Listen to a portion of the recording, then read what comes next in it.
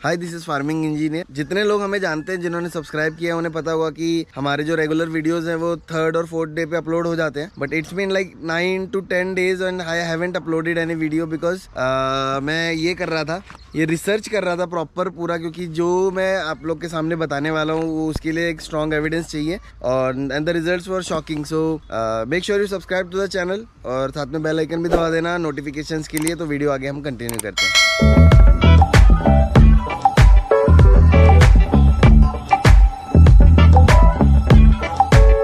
कहानी कुछ ऐसे स्टार्ट होती है कि I was doing a research on soybean उससे सोयाबीन चंक्स कैसे बनते हैं उसके बारे में। तो सोयाबीन से एक और प्रोडक्ट बनता है सोयाबीन लेसेटिन वो एक इमल्सीफायर की तरह काम करता है। इमल्सीफायर आपने बहुत सारे फ़ूड प्रोडक्ट्स के पीछे लिखा होता है। तो वो क्या है, वो एक पूरा एक अलग टॉपिक है। उसके ऊपर एक वीडियो हम अलग से बनाएँगे। तो इमल्सीफायर के बारे में मैं देख रहा था कौन कौन से प्रोडक्ट में इमल्सीफायर यूज़ होता है, ये देखने के लिए मैं मॉल में गया। वहाँ पे मैंने अलग अलग प्रोडक्ट्स देखे। वहाँ जाके एक और चीज़ मेरे नोटिस में आई कि इंग्रेडिएंट की लिस्ट में कुछ कोड्स लिखे हुए हैं, जैसे E six three one E two three one इस तरह के कोड्स हैं वहाँ पे।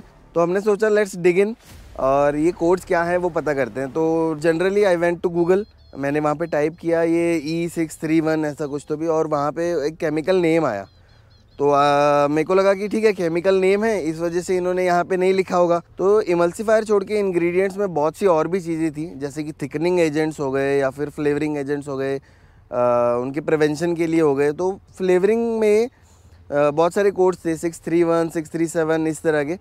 तो हमने सोचा कि ये एडिशनल फ्लेवर क्या है, क्यों डाला जाता है, वो ज़रा चेक करते हैं। तो फ्लेवर्स के बारे में मैं आपको थोड़ा सा पहले गाइड करना चाहता हूँ। ह्यूमन के अंदर चार तरह के आप फ्लेवर्स को जज कर सकते हो। मीठा, खट्टा, कड़वा और नमकीन। ये चार फ्लेवर हैं। तीखा कोई फ्लेवर नहीं होता। हमने मिर्च वाला वीडियो किया था, उसमें आपको बताया था कि तीखा जो है, वो स्पाइसीनेस जो है, वो होता है क्योंकि हमारे जो ग्लैंड होते हैं मुँह के अंदर जो सेंसर होते हैं, वो गर्म फील करते हैं और टेम्परेचर को वो कन्वर्ट कर देता है स्पाइसीनेस में। तो स्पाइस कोई फ्लेवर नहीं है। तो ये चार फ्लेवर होते हैं। पांचवा एक फ्लेवर है, उसे बोलते हैं उमामी तो उमामी क्या चीज़ है? उमामी एक चारों इन फ्ले, चारों फ्लेवर को मिला के एक बढ़िया से बनाया हुआ एक फ्लेवर है जिसे उमामी बोलते हैं। आ, उसके ऊपर और भी बहुत सी डिटेल्स हैं आप लोग जाके चेक कर सकते हैं हम इसमें नहीं ऐड करेंगे। तो उमामी फ्लेवर जो है वो नेचुरली भी एग्जिस्ट करता है जैसे कि जो मीट या चिकन जैसे आपने कभी सोचा किसी बारे में? जैसे आप अगर आप मटर पनीर खा सकते हो ठीक है? आप बाहर से लाओ घर में बनाओ मटर पनीर आप एक दिन खा लोगे दो दिन चार दिन पाँच दिन एक हफ़्ता खा लोगे। उसके बाद आपको मटर पनीर से मन उड़ जाएगा कि नहीं खाना है। बट आपने किसी नॉन वेजिटेरियन को देखा कि वो चिकन खाता है मटन खाता है, वो एक दिन रोज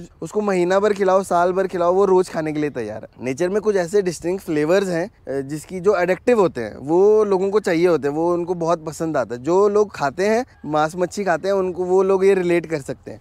ये जो फील है, ये अडिक्टिवनेस का, ये टेस्ट का, ये कंपनीज़ को चाहिए अपने प्रोडक्ट के अंदर।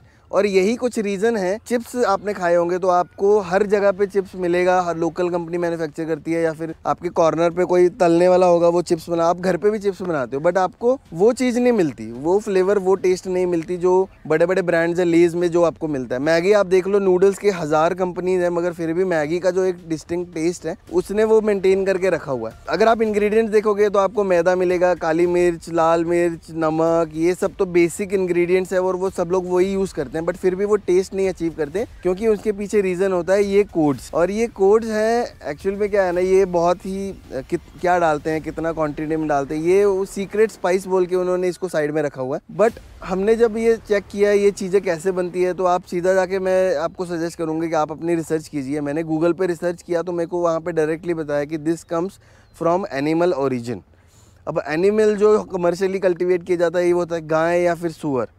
और इन्हीं के बॉडी पार्ट से ये चीज़ें निकल के बाहर आती हैं और ये डिराइव की जाती हैं फाइन पाउडर में और फिर वो टेस्ट के लिए flavour as a flavouring use किया जाता है। बहुत सी चीज़ देखो, अब अब आप, मैंने इतनी रिसर्च क्यों की, मैं इतने सारे पेपर्स लेके क्यों बैठा, मैंने, क्योंकि वहाँ पे एक बड़ा सा ग्रीन डॉट दिखता है। आप प्रोडक्ट लेते हो, वहाँ पे ग्रीन डॉट आपको मिलेगा, आप खाते हो आप रिलैक्स हो जाते हो कि ये वेजिटेरियन है। जब मैं सिक्स थ्री वन के बारे में जब मैंने रिसर्च की तो मुझे पता चला ये इन चीज़ों से बन रहा है। तो ये जानने के लिए मैं कंपनीज़ की वेबसाइट पर गया और वहाँ पर उन्होंने क्लियरली मैंशन किया कि हम जो ये फ्लेवर बना रहे हैं, वो प्लांट की रूट से लेके बना रहे हैं।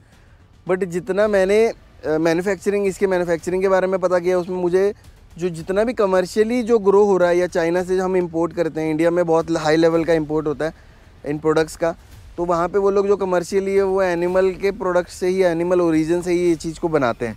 अब बड़ी कंपनी है, वो शायद वो बनाती भी होगी, क्योंकि नाम का सवाल है। But as a secret spice use करते हैं तो वो पूरी डिटेल्स आप में डिस्क्लोज नहीं करते। तो उन्होंने आजकल तो ये डालना ही छोड़ दिया। उन्होंने सीधा यहाँ पे लिखना स्टार्ट कर दिया कि natural flavour natural additives add किए गए हैं। अब अगर वो प्लांट नहीं है या प्लांट है या एनिमल है, वो है तो नेचुरली वो केमिकली सिंथेसाइज नहीं किया गया है बट वो ट्रिक है लिखने की। तो आप सतर्क रहिए कि क्या चीज़ यूज़ हो रही है, क्या नहीं यूज़ हो रही है। अगर अगर मैं ये सजेस्ट करूँगा कि अगर कोई इस फ़ील्ड में है, इस फ़ील्ड में काम करता है, जिसे इस फ़ील्ड की बहुत अच्छी खासी नॉलेज है। मेरा रिसर्च कुछ दिनों का है, जिसका कुछ बहुत सालों का रिसर्च है इस फ़ील्ड में। वो ज़रूर सामने आए, वो डिस्क्लोज करें इन चीज़ों को, वो बताए हमें कि एक्चुअल में क्या यूज़ हो रहा है, क्या नहीं यूज़ हो रहा। क्योंकि सीक्रेट स्पाइस बोल के वो वहाँ पे किसी को नहीं बताते कंपनी में कि ये क्या है। वो बस लाते हैं पैक करके डाल देते क्योंकि ये टेस्ट का ही मार्केट है पूरा। जो टेस्ट को मेंटेन कर पाया, वो आगे अपना बिज़नेस करेगा। ऐसी और कुछ भी चीज़ें मुझे पता चली रिसर्च करते वक्त कि जो हम कैप्सूल खाते हैं, वो जो जिलेटिन यूज़ होता है कैप्सूल बनाने में, आपने देखा ना कैप्सूल मुँह में डालने के बाद वो घुल जाता है, अंदर की दवा असर करती है तो वो भी कुछ पिग्स के पिग्स के पार्ट्स यूज़ होते हैं उसके अंदर जिलेटिन के। ये उसके ऊपर अभी पूरा रिसर्च किया नहीं है, मैं पूरा जब रिसर्च करूँगा तभी बनाऊँगा। आप मुझे बताओ अगर आपको चाहिए होगा तो हम उसको डिबंक करेंगे। एक्चुअली ये जो टॉपिक है वो थोड़ा अलग है, क्योंकि हमारा जो मेन फोकस है ये यूट्यूब चैनल स्टार्ट करने का, उसका ये उसके पीछे का रीज़न ये है कि फार्मर्स जो लोग प्रोड्यूस करते हैं, उनकी प्रोसेसिंग आगे जाके कैसी होती है, क्या होती है, ये जनरल पब्लिक को भी पता चले फार्मर्स को भी पता चले। तो उस तरह के प्रोडक्ट्स हम इसमें बनाते हैं बट ये जो चीज़ है, ये लोगों को पता चलना भी बहुत इंपॉर्टेंट है। तो इस वजह से मैंने सोचा कि ये आपको एक पीस ये आपको एक वीडियो बना के यहाँ पे डालता हूँ। रेगुलर हमारे वीडियोज़ आगे आते रहेंगे तो अगर आपने चैनल को सब्सक्राइब नहीं किया तो सब्सक्राइब कर लो। इस वीडियो को शेयर करो लाइक करो, और कमेंट करो अगर आपको कुछ नया चाहिए और किस चीज़ के बारे में जानना है। ठीक है? फिर मिलते हैं अगले वीडियो में। Bye bye